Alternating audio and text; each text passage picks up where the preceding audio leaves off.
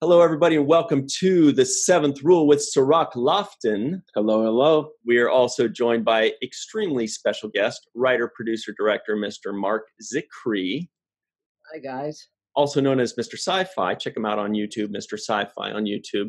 Uh, my name is Ryan T. Husk. Today, we are going to talk about Marc Zicree and all of his awesome projects of yesteryear and present. Uh, first of all, we want to say check out Space Command. You can find it on Kickstarter. They're doing a Kickstarter right now for their fourth episode. Each one is an hour long. Um, really awesome stuff. Tons of amazing actors like uh, Doug Jones, Mira Furlan, Bill Mumy, Bruce Boxleitner, Faran Tahir, all kinds of good ones. Before we get into Robert. that, Yeah. I know we got a ton. Before we get into that, let's talk about your career and you, you've done so much cool and amazing stuff. First of all, Star Trek fans, you know him. Cirroc, you know him as the guy that wrote Far Beyond the Stars on Deep Space Nine. So can we just Yeah. start with that incredible episode and kind of your inspiration behind it? Sure, of course. And I came up with the initial notion. Uh, I grew up with the original Trek, and uh, those writers on that show were my heroes. So as soon as I was a teenager, I started meeting them. People like Harlan Ellison, Theodore Sturgeon, and Dorothy Fontana, and David Gerrold, and so forth. And uh, and with Theodore Sturgeon, he became a mentor. And uh, I noticed that although he was one of my idols, and he'd written some of the great science fiction of both television and uh, books and short stories, that he was living this little impoverished life. And I realized those guys who wrote the classic science fiction of the 50s were doing it for the love of it. They were writing for a penny a word, five cents a word. And that world that would, if not for them, we wouldn't have Star Trek or or Star Wars or any of this stuff that's come come since. And uh, they inspired everything. And uh, so I wanted to show that world. And um, so I came up with it and I pitched it. It took a year for it to sell. And by then, then I was uh, producing Sliders. I was a writer producer on Sliders. And so, um, Hey, Marc, uh, one second. Marc, one second. Sorry. Um, can you, Um, can can you you have any ear? Do you have any ear? Sure. Yeah. Yeah, I can do let's that. let's use those. Thanks. That'll help a little bit, I think. Um, yeah, and I got what's here. funny when you mentioned Theodore Sturgeon while you're getting those, uh, you actually the I'm I act in Space Command too, and my character is named after is Theodore Sturgeon. Theodore because I like Sturgeon. Yes. so much. Um, and Yeah. I'm ashamed to say that when I was talking about Theodore Sturgeon uh, and Space Command on a different podcast on Orville Nation, I couldn't remember where you got the name. I said, I'm sure it's a writer, but I don't remember what he wrote. Can you remind us what he did write? Yes. Yes. Um, Much better, by the way. We hear you great. Oh, great, terrific. So, um, Ted Sturgeon wrote uh, on Star Trek. He wrote the episodes Amok Time and Mm. Shore Leave. Amok Time is the great episode where Spock has to go back to Vulcan to, to essentially to spawn, and uh, Hmm.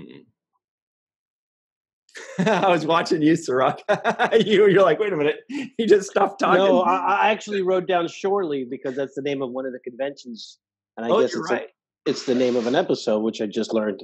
yeah. So, So- that, was- that was good information for me right there. Theodore Sturgeon. So you, the character you played was Theodore Sturgeon. Yeah, uh, I'm still playing. Uh, for those of you at home right now, Zicree's there. Oh, there we go. there, yeah, gotcha. So, um, That's cool. so Ted Sturgeon wrote, trying to get this to work so I can hear you guys. Actually, we see a lot, see and hear you a lot better now. So whatever you did is, is perfect. So go ahead and finish your story. Terrific. So um, basically, Ted's there now. I can hear my hear, hear all of this. Uh, Ted Sturgeon wrote Amok Time and Shore Leave. Shore Leave's the one where the, the the giant white rabbit from Alice in Wonderland appears on this uh, planet they're taking shore leave on.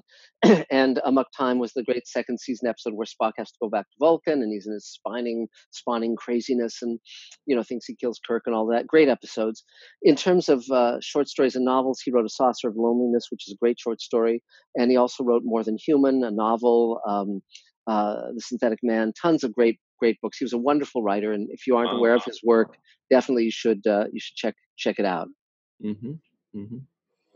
Cool. And so then that's and then you start kind of getting into a writing for Star Trek yourself. First, you wrote uh, Yes. Star Trek First Contact, and that's the Next Generation episode, not Yeah, Uh, I came up with yeah I came up with the idea that you know the Enterprise would make first contact to a, to a society that had uh, developed the warp drive, and it, it was you know I was very proud of it. But then Far Beyond the Stars you know, when I came up with that and the idea that all the actors would play these science fiction writers back in the 50s, uh, the you know it was also because Armin Shimerman was a very good friend of mine. I'm just looking to plug this in.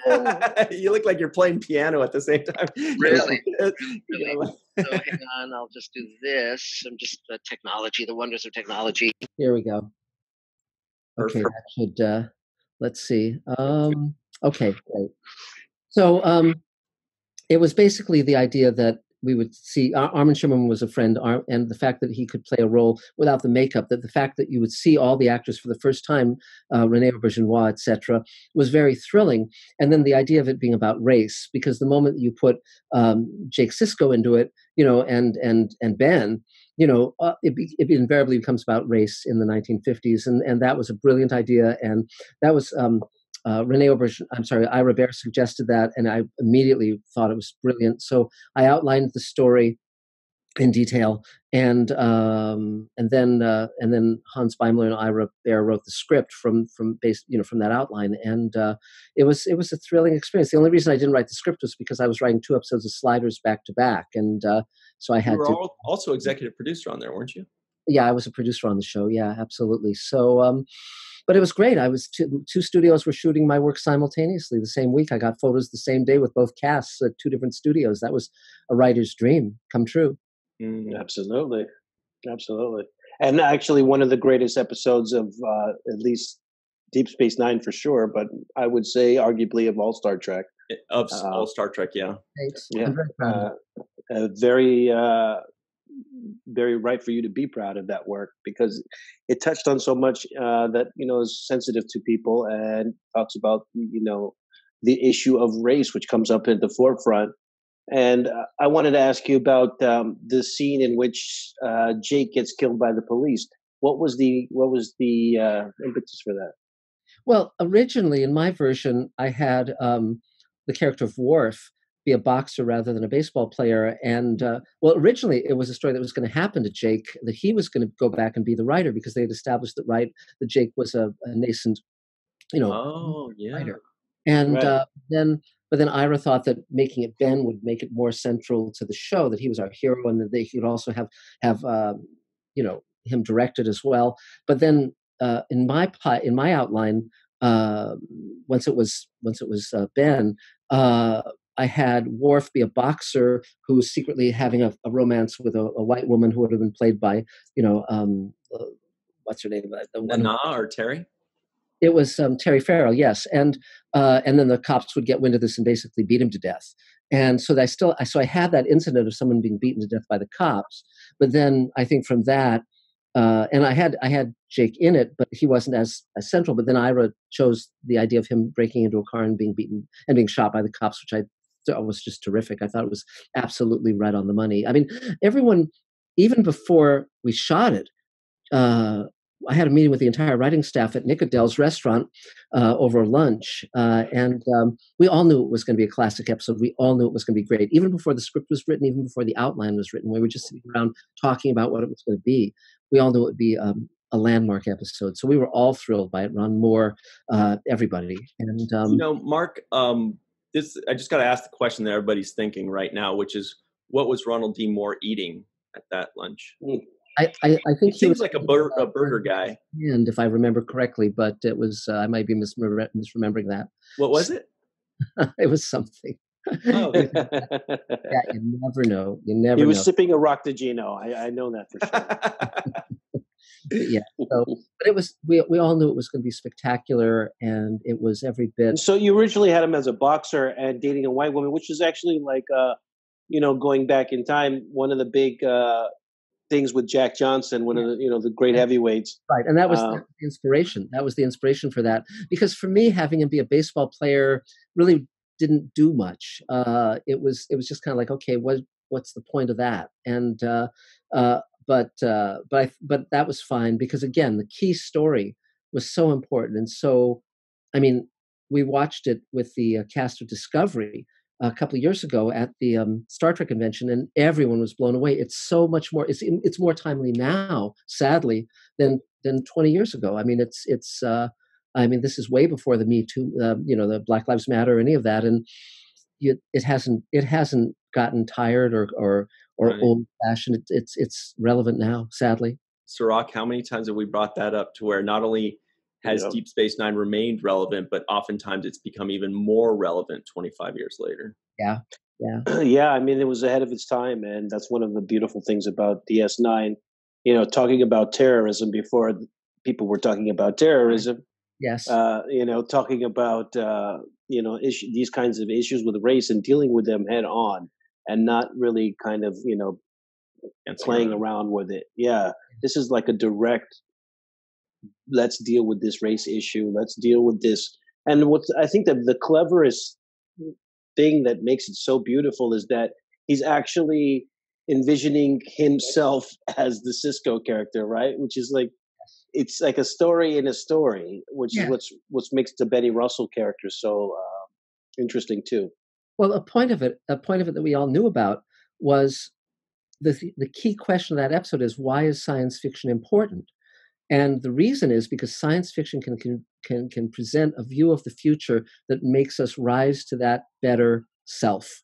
You know, mm-hmm. it's basically, you know, I, I talk often about the fact that when Martin Luther King uh, gave his I Have a Dream speech, he was basically telling a science fiction story. He was saying, I see a future where black people and white people sit together at, at the table of prosperity and and uh, you know it was it, and it didn't exist back then the table of brotherhood and um, and yet by speaking that future it helped create that future. I mean, when Martin Luther King told Nichelle Nichols to stay on Star Trek because it was meaningful, it was important.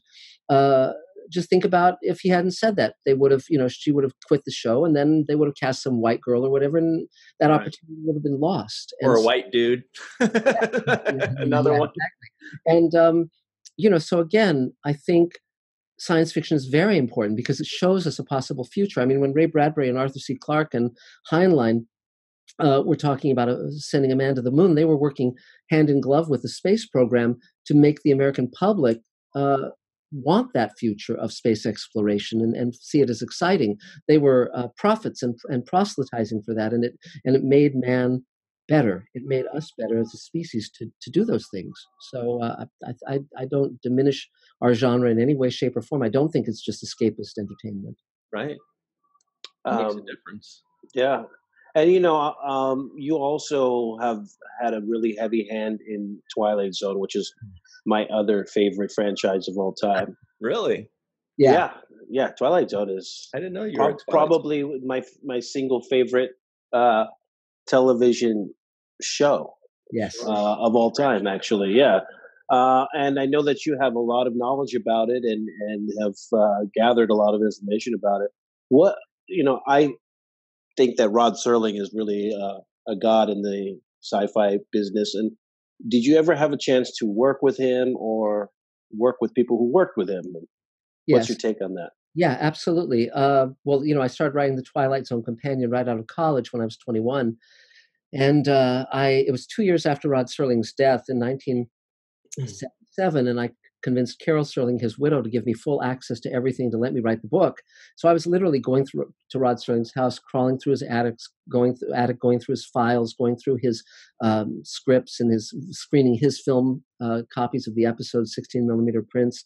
It was an amazing experience, and I got to interview everyone who worked on the show: Richard Matheson, George Clayton Johnson, the great writers of the show, the directors, Doug Doug Heyes, and uh, Richard Albert, and so forth and many of them became friends and mentors. And uh, and then when they brought Twilight Zone back on CBS in the 80s, I actually wrote a script for CBS called Knife, Knife Through the Veil. And Doug, Doug Heyes, who directed uh, Eye of the Beholder and The Howling Man and The After Hours and so forth, The Invaders, he was, uh, he was going to direct that episode. And uh, a week before prep, the censors pulled the plug on it. So it was really a, a shame, but that's a, a, script I still very much want to make. And I've been talking with um, the Serling estate about doing a show called Rod Serling's After Twilight, where we could do some of the shows that didn't get made back then. Great. That's a great title, as you probably already know. That's a good title. Yeah, it'll it'd be very very fun. It would be not narrated by Serling because he uh, used to dictate all of his scripts and letters and everything, and they thought all of those uh, recordings were lost. And they've just found 200 of them, at uh, wow. universities, and so uh, so I'd I'd love to have that that show come to come to fruition. It'd be great. I too would love to see that. Yes. Um, as as a big fan of Twilight Zone, I think I've watched as, as many episodes as a person can. Um, every time I think I've seen, every time I say I've watched all the episodes, some somehow a new episode pops up. So I I yeah. don't say that anymore. But and um, Marc's about to bring up like 200 new ones for you. Yeah, which is great, and and you got to go through his personal stuff and and I yeah. guess see his notes and and really get a, a glimpse inside his mind.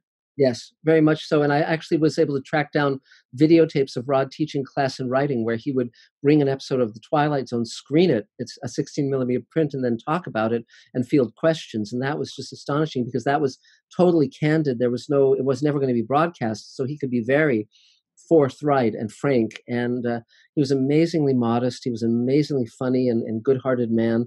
And uh, uh, I was just so honored to have written that book. And then when I produced the Blu-ray set, uh, I was able to do 52 commentaries on the Twilight Zone. So if you ever want to hear me talk for 30 hours, uh, check out the uh, the commentaries because again, I was wow. doing Neil Gaiman. Who doesn't want to hear someone talk for 30 hours? People stuck at home now. Yeah, that's, exactly that's a good right. point. You're right. Yeah, I guess I guess yeah. we do want that. yes. I want to know about this Space Command uh, and where it, where it came from and what the idea was for that. Sure, you bet. Well, um, a couple years ago, I uh, I noticed that a lot of the science fiction was being very dark and very dystopic and very grim and hopeless, and uh, and I wanted to do something hopeful like Star Trek had been for me when I was a kid, something that said we can we can reach across boundaries and barriers and create a future worth living in, a future that we that our kids would be worth find worth living in. That we mustn't uh, abdicate our responsibility for creating a, a good future, a, a, future that includes all of us. And so, rather than trusting the networks or the uh, studios not to cut me off at pilot or cut me off at script, I uh, reached out to my audience, and my audience via Kickstarter campaigns and uh, and selling investment shares for 7500 bucks each has given me over a million bucks.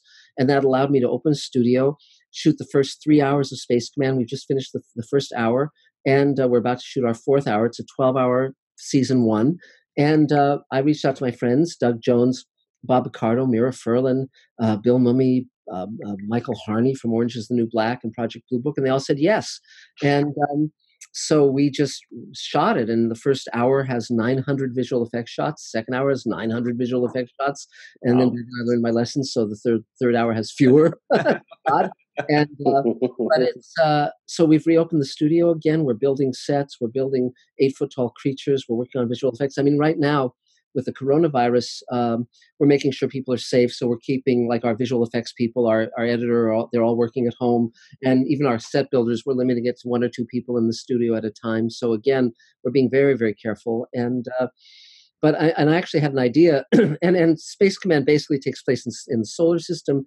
Then we jump to the stars. It follows the four families over 150 years as we see what happens uh, to them and to, to all of us. And um, uh, but I've had an idea that now that we're all in lockdown, to do an episode, to create a new episode of Space Command that'll just be from visual effect shots that we've already got, actors performing in their own their own homes with their own cameras, you know, and basically see if we can weave together an episode with people playing their characters. And uh, starting to play with it, but I think it would be super cool. And, this, and we would donate. We would, we would donate this to the public. We would not sell it. It would just be for all of us to do something for everyone. Hey, and, Marc, if you want to bring back uh, Lieutenant Sturgeon for that, I've got a green screen right here. I can put a spaceship right behind me, and absolutely. here I am on the shuttlecraft. Absolutely, my buddy Sirach Smith. Yeah, to me. that'd be great. that's a that's a great idea. I've never heard that even done before no, or even thought home. about. Yeah yeah. yeah. I think it'd be great fun, and I think we could do it. And uh, you know, so def- definitely, I'll be uh, reaching out further over the next few days as I nail down what the what the story is, because I first, of course, have to figure out the story. But I think I feel fairly certain I'll be able to. So, uh, but so we also recorded an audio prequel, which we're doing as a graphic novel. So Doug Jones, everyone, all our cast sat in on that and did that, which was great. Um, right, that's one of the perks on the uh, the Kickstarter campaign yes. as well, right? Yeah, yeah it's it's forty minutes of a prequel episode plus they've got uh, video of the behind the scenes of while the people are recording it, like uh, Mira Furlan, a couple others, right? Yeah. Bill Mumy, Bruce Boxleitner, Doug Jones, Mike Harney, everybody. And then I just recorded the uh, uh, video commentary on the first hour, and Ethan uh, McDowell and Brian McClure, two of our stars, just did their audio commentary. So again, with people again stuck in their homes, I'm trying to send out content while we have the Kickstarter campaign going because I know a lot of people are worried about their financial future. So again, I'm very aware of that. And obviously, if anyone wants to buy Space Command shares, if someone's sitting on their on their own island, you know, uh, uh, sitting atop their pile of, of, of millions, you know, they're welcome to buy Space Command shares. But uh, but I, we're going to be able to keep going, and we're we're not stopping. I'm not at all defeated by any of this stuff because I, I see science fiction as the great unifier, and I and television. I think of this technology. Here we are right now recording this interview. I've been I, a few minutes ago. I had a meeting with uh, uh, with my investors. Yesterday, I had a meeting with an, uh, uh an, uh, an, executive from Amazon to pitch the show, and this is all via you know Zoom, via the video meetings, and and and it can be anyone anywhere in the world. So I think we are now linked. I mean, our technology shows us even more so that we're all one one people, that we're all one one family, and I think anyone who doesn't recognize that is frankly a fool because it's so obvious. And uh, mm-hmm. and the coronavirus is is a, definitely a challenge. But on the other hand, it's a world crisis, and there's something. Um, I was going to say something good about that. The good thing is that we are we're all in it together, and we have to rise to the occasion, and uh, and that's important too. So you know, and, and those of us, and of course, those of us who've grown up with science fiction, this is not a, a new situation. We've all seen right. zombies to start coming up, you know, because it's we've seen this story a million times, you know. So yeah. I think this yeah. is going to be a, a case of uh, necessity of the, is the mother of invention, and if we're we're all being forced to stay at home, yes, as humans, human nature is our creative juices are going to start flowing. These meetings are going to start happening people are already doing crazy things that are amazing like they're playing outdoor concerts from their balcony you know like there's a guy playing his keyboard out in his balcony and the next person the next back balcony over is doing a trumpet And someone's singing yeah. over there it's just amazing stuff uh, before we go on to because i do want to talk about he-man and smurfs because i loved those when i was sure. a kid but before yeah. we do i did want to ask one last thing about space command what was the thing that you were most pleasantly surprised by when shooting you know was there like a performance that just kind of blew you away was there yeah. a, a, last second change to the script that turned out really well was there any? yeah i was so amazed that you knew your lines yeah, I just I just put the script I put the script down on the floor. That's why I kept going. I kept going. I think that hmm. I was actually pretending like I was thinking, but I was really just looking at the script. That was the pleasant surprise of it. That's why you're a genius. That's why you're a genius. Um, are you are you wearing a Space Command shirt? By the way, is that yes? Is I that am. what? I, yeah. That's that's that's a nice shirt. Comic book. oh, that's the comic book. Do you have it on you, or I could grab one? Hang on one second. Yeah, you can grab. Okay, one. that's the okay. That's the comic book. yeah. Oh, that's the cover. Yeah, that's awesome. graphic novel of the prequel, and so we've we've got the first issue printed. We have uh, uh, cover for issue two, the cover for issue three. It's just continues. I mean, um, to answer Ryan's question, I think that the biggest uh, pleasant surprise was just the fact that I first of all I got all the actors that I asked, which is great. Jones, I mean, amazing, phenomenal, and uh, I mean, it's every day. It's like Christmas for me because I'll get a new visual effect shot or I'll see a scene. Yeah, that's the comic book. I mean, that's nice. William Stout. William Stout did the cover. He's an astonishing artist, and How then the cool back cover. Is the, show the back cover, Ryan. It's by uh, by Iain McCaig, who designed Darth Maul and Queen Amidala. He's our character mm. designer on on Space Command and you know again it was just i asked these guys and they said they loved it they wanted to do it and um the color is great love it. It's so it's so retro i love it it is the retro it looks like an old school uh, That's the idea yeah absolutely yeah. the riff on on the old ec comics weird science and uh and uh, I just I just love what I'm doing. You know, we're Space Command is just the start of it. Our plan is to have many series made by our studio. There's Magic Time, which is this big fantasy series that I created that was published as a series of novels. We're going to do that. Um, Christina Moses, who stars in A Million Little Things on ABC, right. she, I cast her as Sulu's daughter. That was her breakthrough role when we did the George Takei episode. She, she, I've written the female lead in, in Magic Time for her. She's going to be in Space Command. You know, I want, I want a lot more I was going to say people of color. I want more diversity, not less. I want, you know, Faran Tahir, his, his family's from Pakistan. That's great. I, He's an incredible actor. That yeah. he was a pleasant surprise for me uh, because I mean we always know that he's a great actor. We know he's a great guy, um, but working with him on set, I didn't realize what a prankster he was. this guy, I mean, because he's he's a fun person in real life and this and that, and He's a professional actor. He was uh, the villain in Iron Man. He was uh, Captain Robau in the 2009 Star Trek movie.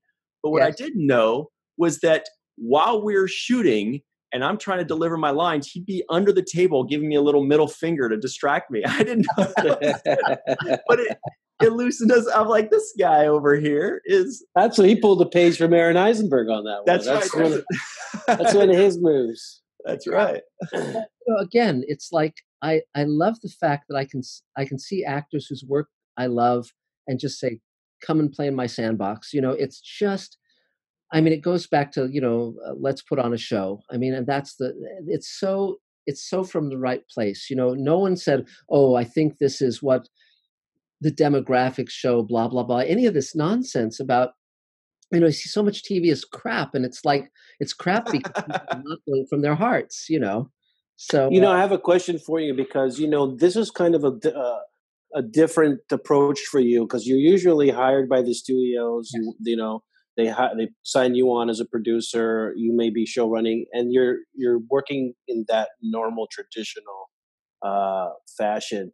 And now you've kind of gone into the you know crowds uh, funding yeah. and and doing your own thing and taking initiative. And you, you kind of mentioned uh, taking the restrictions of the studio, not allowing you to do what you wanted to do, you know, past the first episode. Yeah. Uh, what's that like? And what is that? What, what are the things that you're you're discovering by doing things on your own?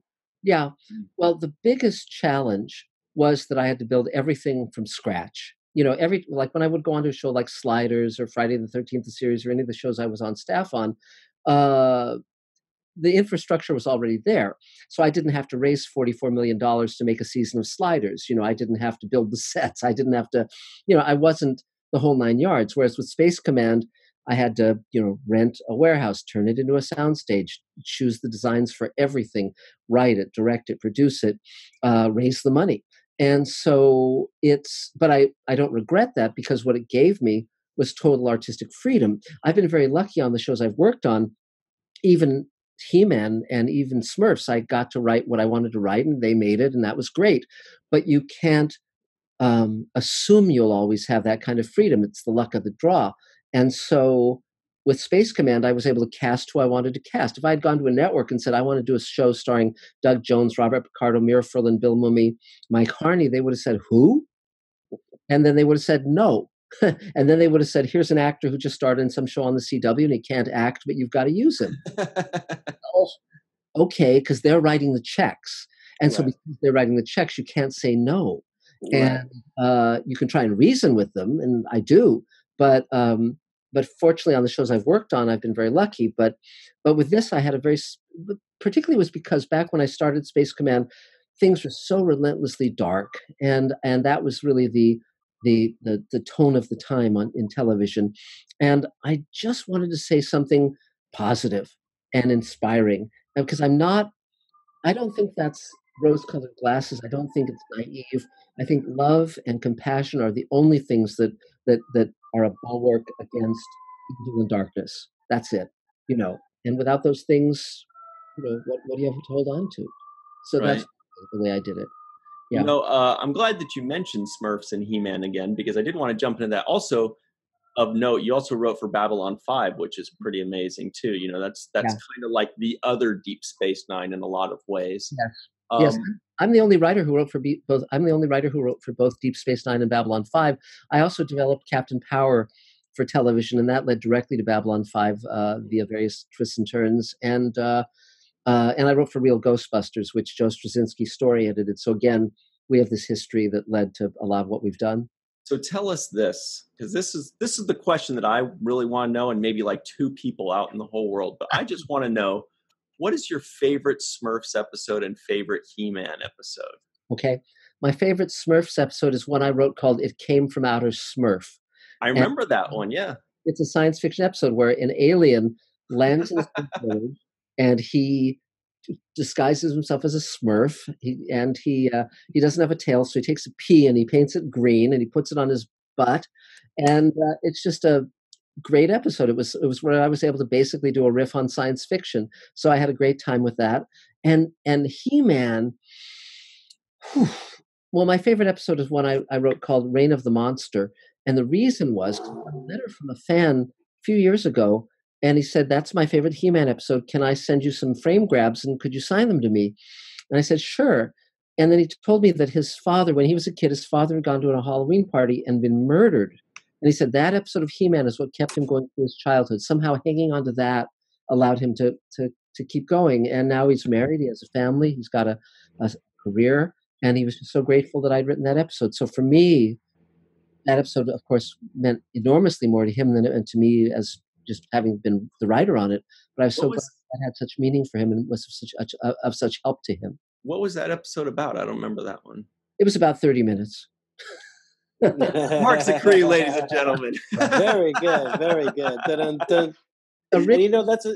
Oh, it was sorry. Called, it was originally called Reign of the Monster God, but they wouldn't let me use the word God in the title. And it's just about this creature sort of that people worship, and it's a monster, and He-Man puts it in this place. Pretty, pretty straightforward. It was. Uh, I don't. I haven't seen it in God over twenty years. It's. I'm. I'm sure it's brilliant. Yeah. Were you saying, Cirroc? No, I, I, I actually lost my train of thought on that one, but we got lost in the thought of God when he says they took uh, off God in the '80s. We're like, yeah, that sounds like. Well, they- you know what? I'm glad you said that. It brought me back. Um, you have a positive perspective and outlook on life, right? And I think that a lot of people that are in the business for as long as you have been uh, become jaded and a little bit dark. And I noticed that you are not. Mm. Uh, what keeps you what keeps you having an optimistic look and and trying to be positive and and giving out these positive messages thanks i, I really appreciate that, that question Cirroc. i think it's very very important i think uh, john sayles was a wonderful writer of books and films once said cynicism is cowardice and i agree i think that, mm. that we uh, fortunately my mom i was raised by my mom she was a divorced mother and uh, uh she um, she was very compassionate and very loving. She had her journey too, which was very one of struggle, but she imparted compassion to me. And as a result, I don't see other people as my competitors. I see other people as my um, allies and my friends and my my family. And so as a result, when someone else succeeds, I, I cheer for them. I, I'm rooting for them. That's why I created my roundtable that I run of writers and directors and actors and producers. And I see that the world is better uh, if we uh, are positive and loving and come from the heart. And I mean, it's just, I'm glad that it's my nature. Now, also, I was very lucky because I met my wife, Elaine, when I was 20, and we got married when I was 21. So I've been with Elaine for 43 years and married for 42. And she writes and directs and produces with me. And she's a very upbeat person. And my mom was a very upbeat person. And so, I'm surrounded by this, and and and my God, what on earth would I have to complain about or be bitter about? I've I got to I got to live the life I wanted to live. I when I was a teenager, I wanted to grow up to be a writer, producer in TV, making science fiction, writing books uh, on occasion, and uh, and and meeting my heroes and being friends with them, like Ray Bradbury, who became a very good friend. Uh, you know, I get to write what I want to write, shoot what I want to shoot, cast who I want to cast. Um, the the whole world is financing me and letting me have my dream. I wake up and every day is like Christmas. I mean, even with the coronavirus, thanks to the technology, we can have this lovely conversation, and and the world can share in it. I mean, there's there's so many blessings and so many wonderful things every single day and uh, life itself is a miracle but i'm i get to do so many fun things i get to work with so so many wonderful people. I mean i mean who wouldn't want to work with ryan husk for god's sake you know uh, uh paragon? Incredible I husk. Can, i could tell i can name a few names. Yes. No but before uh, we only have a minute or two left uh, Marc but sure you did mention uh, meeting your heroes, and it reminded me of something that you've said once before, which was how you met. Possibly the first time you met a quote hero was how you met Bill Mumy. Do you want to yeah. tell us about that? Yes, well, I was a fan of Lost in Space. This is before Star Trek, and I was like seven years old, and I was home with a cold in my pajamas, and my, I was a latchkey kid. My mom was a working mother, so I was home alone, and I decided that I would get out the big phone directory. They used to give this phone directory with all the listed phone numbers, this big thick white book, and uh, and I decided to look up the stars of of out of, of, of Lost in Space and uh, call them. So I started calling people with the same names as the actors on Lost in Space, and of course, most of them were just different people. They weren't those people, but there was one woman in the phone book, must have been his dad, and I called it, and his mom answered, and I said, "Is Billy there?" And his mom said, Hold on. And Billy, when we came to the phone, I was so nervous, all I could do was say, Will you be my friend? and hang up. But then I called, called like, back. Probably not. yeah, that sounds like, that. that. sounds like me asking my first girl out. Yeah, but I called him back, and when I was over my cold, my mother took me over to his house, and we traded comic books. So we've known each other since we were since I was seven, And Wow. uh, he got, and I interviewed him when I did the Twilight and Zone book, and I worked with him on Babylon Five, and I'm working with him on Space Command, and uh, he's a terrific guy. So, uh, I mean, so you can tell I was definitely that's the same kind of weirdo when I was a kid, and uh, but it's fun. Like now I have my own channel with Mr. Sci-Fi, and I can share all of these different things with my my fans. So, like we just posted the documentary on the table on Mr. Sci-Fi, and and I have a a piece where I talk about Bill Mumy, and so it just it just continues. It's uh, I'm still that same kid who who called Billy Mumy when he was seven. I'm not uh, really any different now than than than I was then. Do you still hang up on people all the time? Oh, I- that's, that's my favorite things. Absolutely, yes. uh, do you have any uh, Uh, final words, uh, Cirroc, before we run? No, you really touched on so much. Uh, I would I, I would ask you about Ray Bradbury, but I feel like that's that can't be answered in under a minute. Uh, I would like to ask you about Jules Verne, but I'm sure that can't be answered in under a minute. Um, so you know, I just I just love to hear your knowledge and to hear your perspective on life, and it's Thank- really it's really inspiring for for those of us that get to listen to you and and see that you are living your dream. Thank you, Um, Cirroc. Well, also yeah. on Mr. Sci-Fi, if you go on Mr. Sci-Fi on YouTube and just type in Ray Bradbury, I did a an hour long commentary about my friendship with Ray, and I'm writing a book called My Ray Bradbury that will be all about how we became friends and what an amazing relationship and, and friendship that was. So uh, he was one of a kind. Thank God he existed. He was phenomenal. Well, uh, thank you so much, Mr. Marc Zicree. Uh, we do want to say go check out, everybody go check out the uh, Kickstarter for Space Command Episode 4. As you said, Episode 1 is, is done and completed. 2 and 3 have been shot and are in post-production. We're doing Episode 4 right now with all kinds of stars, including John Hennigan, who is Johnny Nitro in Yes. uh, WWE Wrestling, which is Oh, cool. okay. And, and James Hong, Yes. who was uh, Lo Pan in Big Trouble in Little China. So all kinds of goodies in there. It's really cool people you've, you've assembled there. Uh, thanks so much, Marc. We'll we'll talk to Yeah, you again. thank you. Okay. And don't forget, I, I also as well will be checking out this Mr. Sci-Fi. I want to know more about it. Great. Thanks a lot, guys. I really enjoyed it. Thanks. Thanks. We'll talk again soon. Sure Thank hope you, so. Marc. Thank you. And uh, for those of you at home, always remember the seventh rule.